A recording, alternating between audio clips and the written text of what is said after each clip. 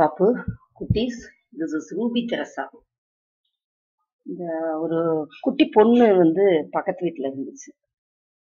அந்த பொண்ணு கேட்டா அவங்க பேரண்ட் வந்து ஸ்கொயர் நம்பர்ஸ் செகண்ட் ஸ்டாண்டர்ட் அந்த குழந்தைங்க ஈஸியாக ஸ்கொயர் நம்பர்ஸ் அது மெமரைஸ் பண்ணணும் தான். இல்லைன்னா சொல்லலை.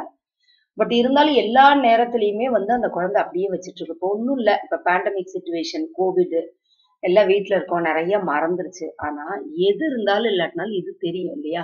One square is one two square four two twos are four three square three threes are nine four square four fours are sixteen five square five fives are twenty five இது வரைக்கும் ஓரளவு மறக்கிறதே இல்லை. ஏன்னா திரும்ப திரும்ப திரும்ப திரும்ப சொல்லி சொல்லி சொல்லி மறக்கிறதே கிடையாது.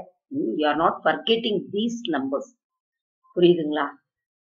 இப்ப இந்த ஃபைவ் மேல வரும்பொழுதுதான் நமக்கு எப்படின்னா சிக்ஸ் செவன் எயிட் நைன் ஆறு ஏழு எட்டு ஒன்பதுன்னு வரும்போதுதான் இதனோட ஸ்கொயர்ஸ குழந்தை டக்குன்னு சொல்ல மாட்டேங்குது.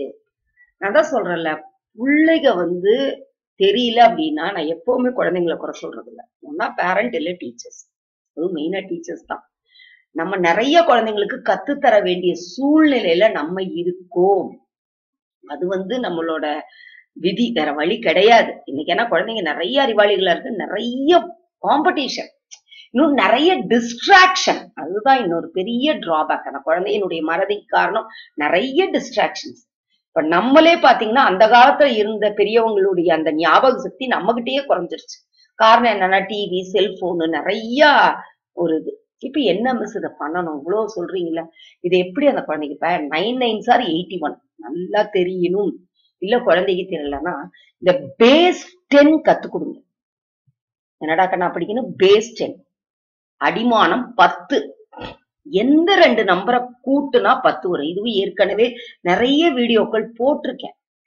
ஒன் பிளஸ் நைன் டென் ஒன்னையும் ஒன்பதையும் கூட்டினா பத்து. டூ பிளஸ் எயிட் டென் ரெண்டு கூட்டல் எட்டு பத்து. த்ரீ பிளஸ் செவன் டென் மூணு கூட்டல் ஏழு பத்து. நாலு கூட்டல் ஆறு பத்து. Four plus six ten five plus five ten நமக்கு இதெல்லாம் கூட முக்கியம் இல்லை. இதெல்லாம் தெரிஞ்சிடும் இந்த நாலு தான். இப்ப என்ன மிஸ் பண்றது அப்படின்னா இதனோட டெஃபிஷியன்சி அதான் இல்ல அப்படின்னா எதை கூட்டுனா பத்து வரும்.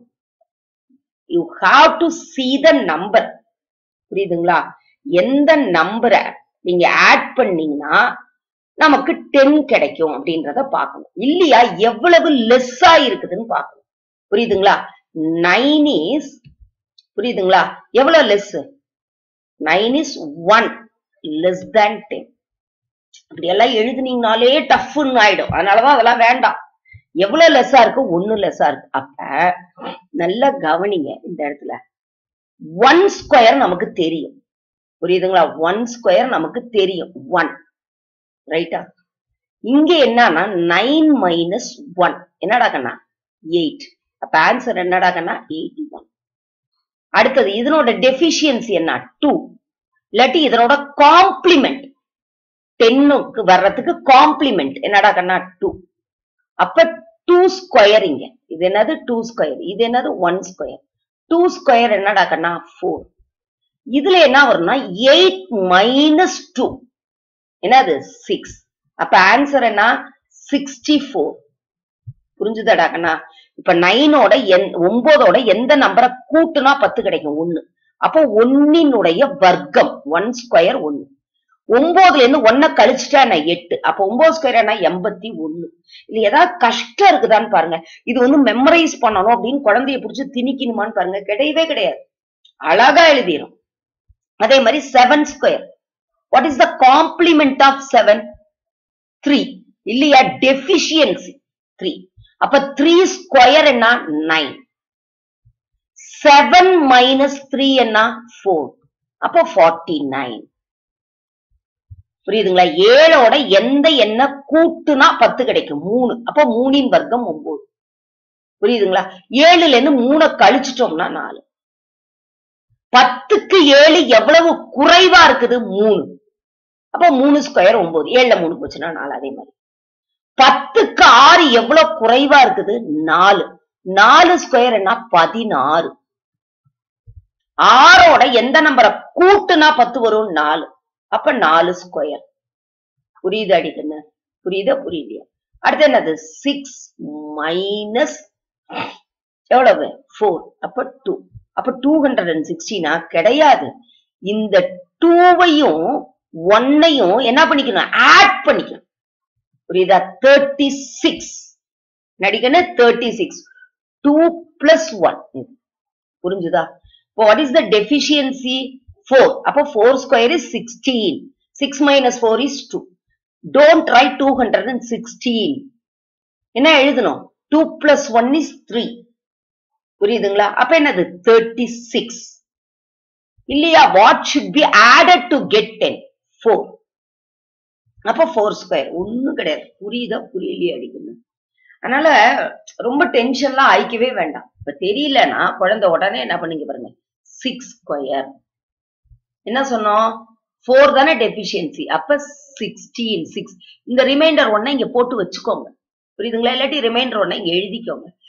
Six minus four is two so two plus one is three seven square deficiency என்ன? Three three threes are nine seven minus three four eight square deficiency two ரெண்டு குறைவா இருக்கு. Two twos are four eight minus two six nine square deficiency one one one is one nine minus one is eight சரி miss இப்படி எல்லாம் படம். இது வந்து என்னன்னா வேதிக் மேக்ஸ் வேத கணித முறைன்னு சொல்லுவாங்க.